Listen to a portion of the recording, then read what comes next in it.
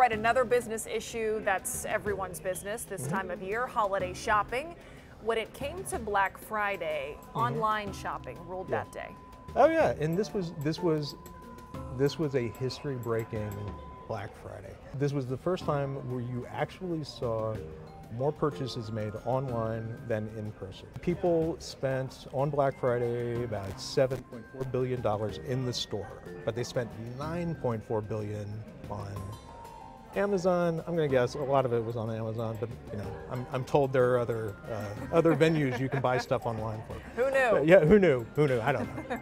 I've never used them, but yeah, I hear they exist, uh, and that's that's remarkable. I mean, both uh, both represented a pretty strong increase over the previous year. So I mean, both increased about 19 percent.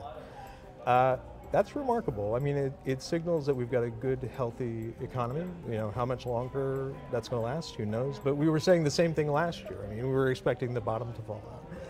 So, um, you know, it was, you know, there's no reason to think that that's not going to widen even more in the years to come. I mean, we're just, you know, we are a society now that's just accustomed to buying things online.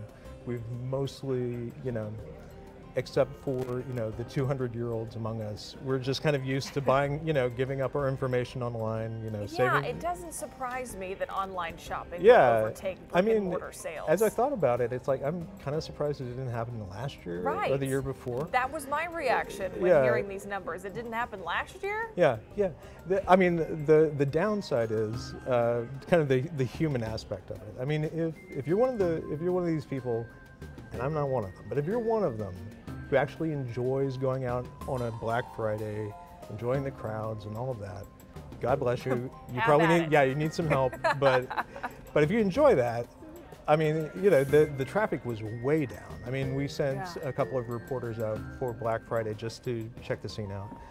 And they came back reporting that, you know, there was just not much It going was on. normal shopping. Yeah, and we actually found that, uh, you know, across the country, foot traffic was down about 6% on uh, Black Friday, although on uh, Thanksgiving Day, shopping there was up nearly 3%. My three daughters, uh, they bolted from Thanksgiving dinner to go to Target at 6 on Thanksgiving Day. So, Hey, I you don't know, what? For the know. people who that is their tradition, yeah. smaller crowds could mean good things. Oh, yeah, you. totally, totally. Yeah. Yeah. All We'll right. see. Thanks for being here, Greg. Oh, no problem. Thank you.